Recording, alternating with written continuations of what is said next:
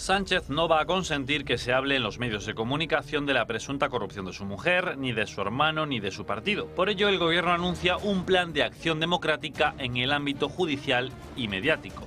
Sánchez ha rebajado la categoría de los medios que han publicado sobre los negocios de su esposa. Les acusa de actuar junto a la oposición para derribar al Ejecutivo. La máquina del fango, según el presidente.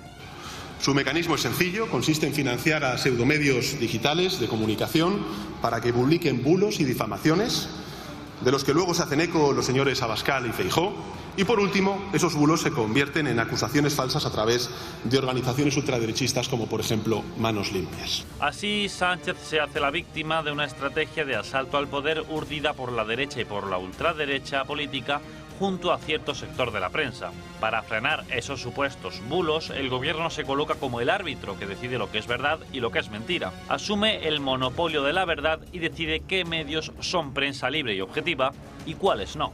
¿Tiene sentido que haya instituciones públicas gobernadas por el Partido Popular y por Vox que estén dando a pseudomedios digitales más financiación pública que a medios de comunicación que claramente son referencias para los ciudadanos cuando se quieren informar. La ofensiva sanchista contra los medios críticos trata de impedir la existencia de los mismos dejándolos sin financiación. El gobierno planteará una futura ley de medios como una transposición de la ley aprobada por el Parlamento Europeo gracias a la mayoría de populares y socialistas. Nos va a implicar cuando la transpongamos a España que los ciudadanos sepan, uno, quiénes son los propietarios que están detrás de esos medios de comunicación. Dos, cuál es la financiación y eh, la transparencia en relación con esa financiación.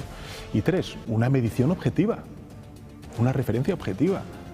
Eh, que defienda a los propios medios de comunicación. La versión española de la ley también incluye la modificación de la ley orgánica del eh, derecho a la rectificación y la modificación de la ley orgánica del derecho al honor para acabar con la impunidad. La libertad periodística está en el foco, pero esto no parece preocupar a las asociaciones de prensa, que prefieren mantenerse junto al poder en lugar de hacerle frente. Aseguran que esperarán a ver en qué consisten las medidas del plan exactamente para valorarlo. Ante este silencio, los miembros del gobierno actúan con impunidad contra la prensa.